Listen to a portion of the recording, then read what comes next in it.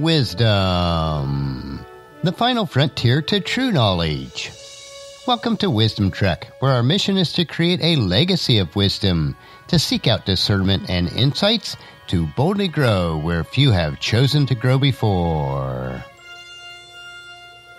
Hello, my friend. I am Guthrie Chamberlain, your captain on our journey to increase wisdom and create a living legacy. Thank you for joining us today as we explore wisdom on our second millennium of podcast. This is day 1263 of our trek and time for our Philosophy Friday series.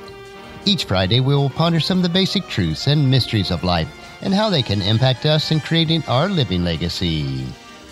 As we continue on this trek that we call life, sometimes we have questions about life.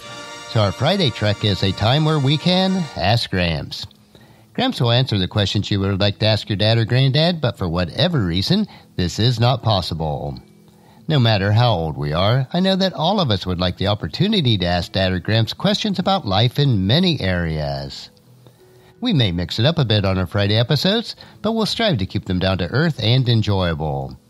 If you have any questions that you would like to ask Gramps, please email them to guthrie at wisdom-trek.com. So the question for this week is Hey Gramps, I know that I should have self control, but sometimes family members, friends, and work associates really get on my nerves, and I end up saying harsh words to them, which I probably shouldn't. What wise tips do you have to help me to overcome these negative character traits? So today we'll look at what's in your cup. First of all, you must accept full and total responsibility for your actions and reactions when you are dealing with other people.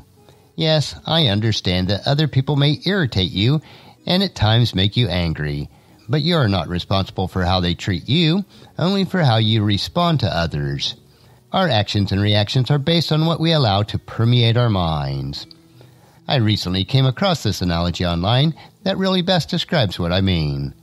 So let me tell you this brief story and see if you agree. Let's say that you are at the office or even at home and you are holding a full cup of hot coffee in your hands and someone comes along and bumps you and or shakes your arm making you spill coffee everywhere, including on yourself. Let me ask you, why did you spill the coffee? And you might respond, because someone bumped into me. No, I'm afraid that is the wrong answer.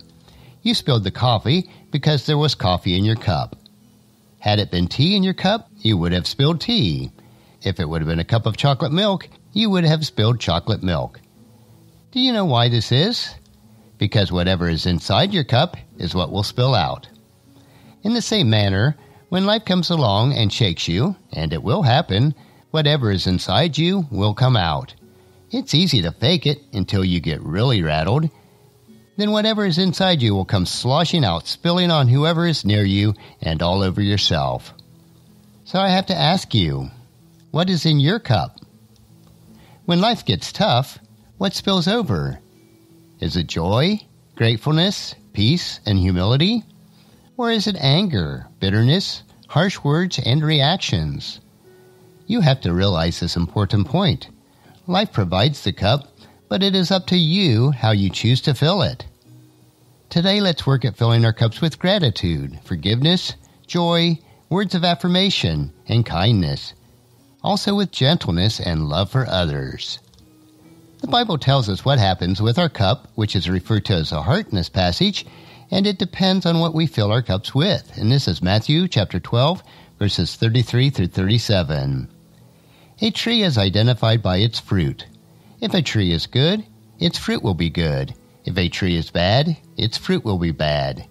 You brood of snakes, how could evil men like you speak of what is good and right? For whatever is in your heart determines what you say.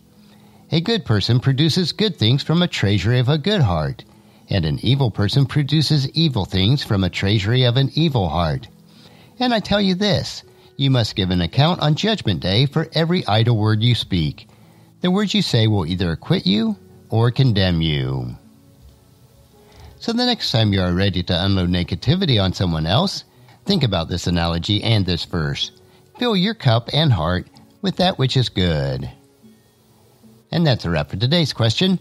Join us again next Friday for another question on our Ask Gramps episode. Our next trek will be Meditation Monday, where we will help you to reflect on what is most important in life. So encourage your friends and family to join us and then come along with us on Monday for another day of Wisdom Trek, creating a legacy. If you'd like to listen to any of the past 1,262 daily treks or read the associated journals, they are all available at wisdom-trek.com. And I encourage you to subscribe to Wisdom Trek on your favorite podcast player so that each day will be downloaded to you automatically. And thank you so much for allowing me to be your guide, your mentor, but most importantly, I am your friend as I serve you through the Wisdom Trek podcast and journal each day. And as we take this trek of life together, let us always live abundantly, love unconditionally, listen intentionally, learn continuously, lend to others generously lead with integrity, and then leave a living legacy each day.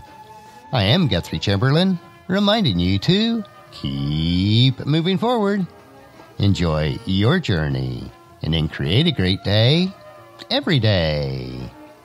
See you on Monday.